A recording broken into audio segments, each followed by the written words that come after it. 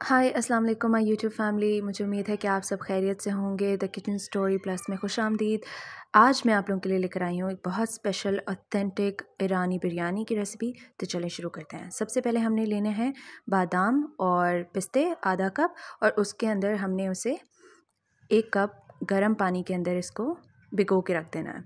ठीक है? हम इसको भिगोएँगे और कुछ देर बाद हमने इसको निकाल के इसके छिलके जो हैं वो इस पे से उतार लेने हैं। ठीक है? ये देखिए।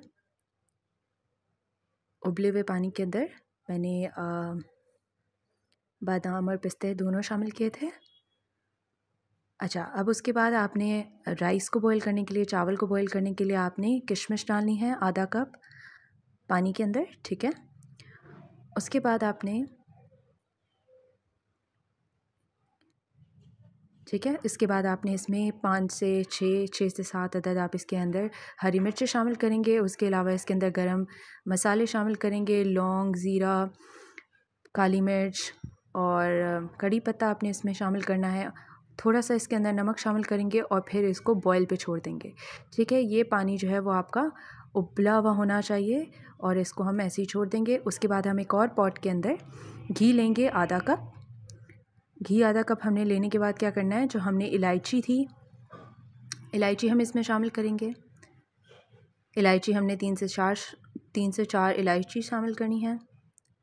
उसके बाद हम इनके अंदर, जो अभी हमने उबाले थे, अपने बादाम और पिस्ते, जिसके हमने छिलके उतार दिए हैं, उसको शामिल करेंगे और फिर हम इसे दो से तीन मिनट तक फ्राई करेंगे।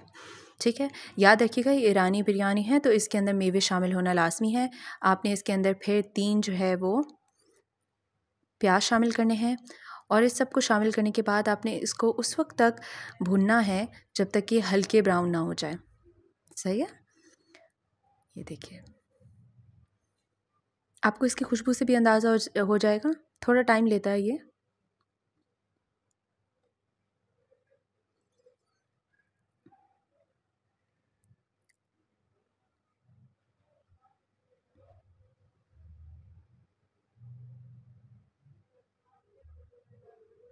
ये देखिए, हल्के ब्राउन हो गए हैं।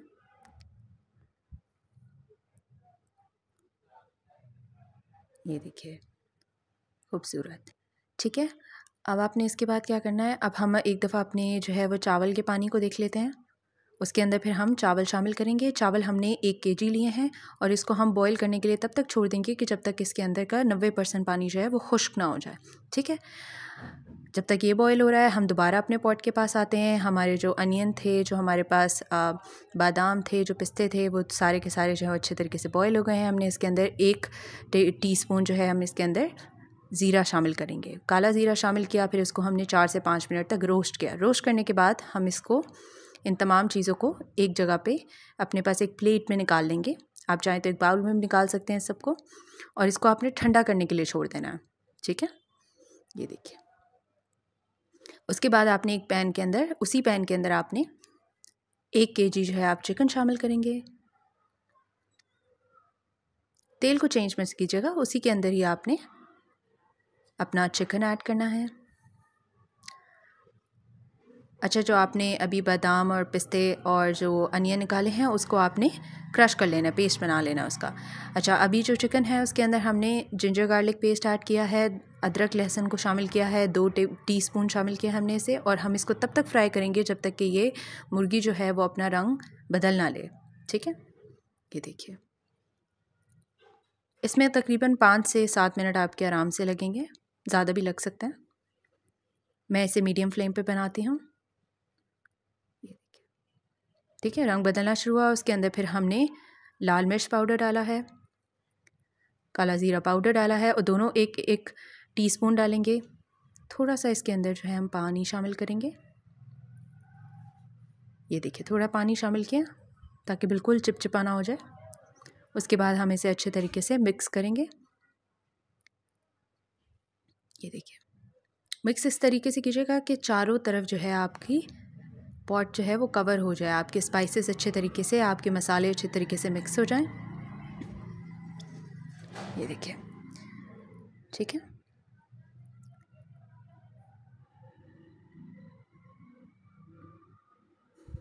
अब हम वापस अपने चावलों की तरफ़ आएँगे। हमारे चावल की कंडीशन देखेंगे कि हमारे चावल डन है या नहीं है। ये आपको कैसे पता लगेगा?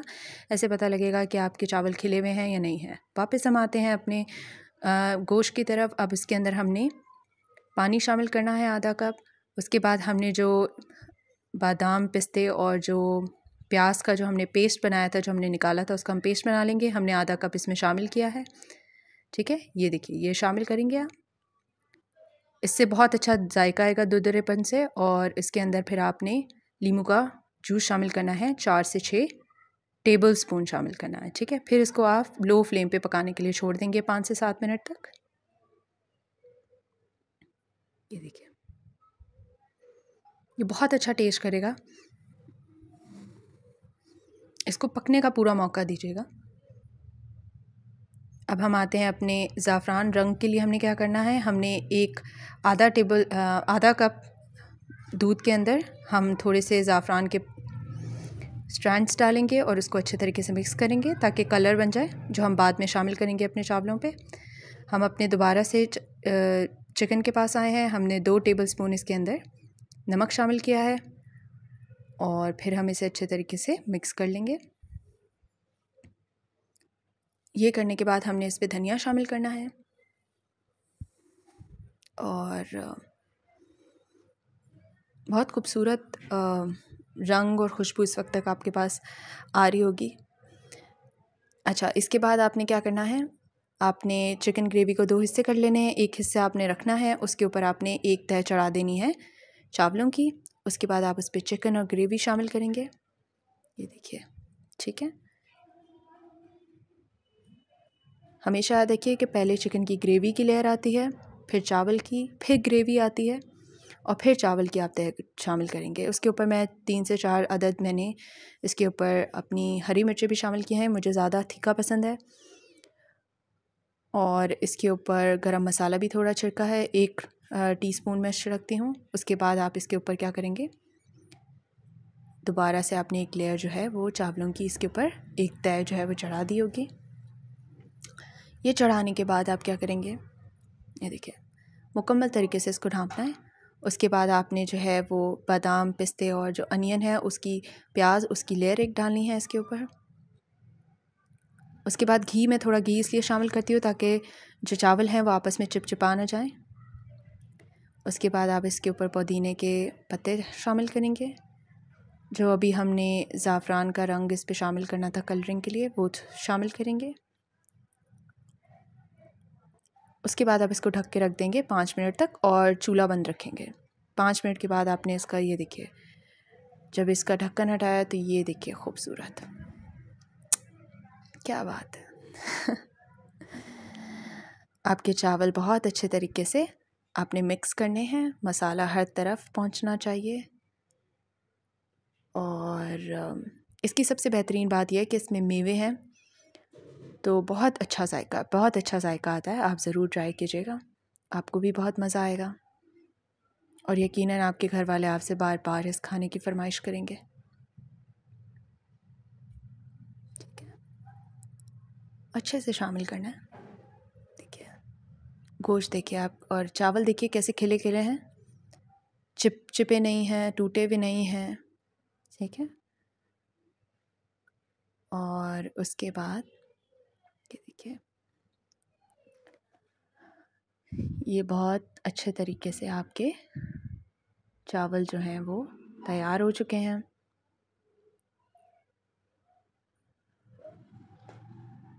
ठीक है।